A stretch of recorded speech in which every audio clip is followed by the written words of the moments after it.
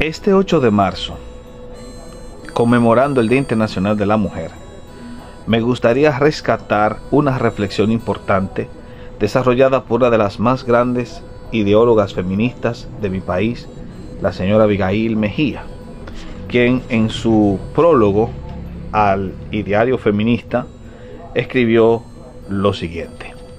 Cuando sentimos predicar y actuar ahora como si olvidaran nuestras obras, aquellas mismas a quienes enseñamos a atreverse a ello, nos viene al recuerdo lo que decía Lamartine de Rouget de Lais, creador de la Marsellés.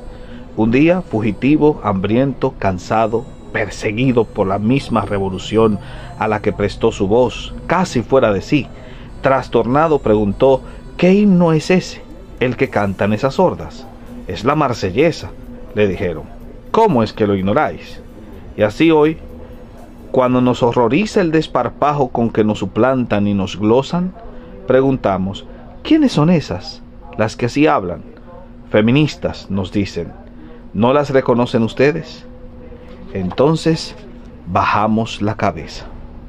Esta reflexión de una de las feministas más importantes de la República Dominicana debe quedarse con nosotros en este día, puesto que el Día Internacional de la Mujer es el Día de la Mujer, más allá de cualquier frontera ideológica, y los movimientos ideológicos que dicen representarla verdaderamente causan vergüenza a las mismas que los iniciaron.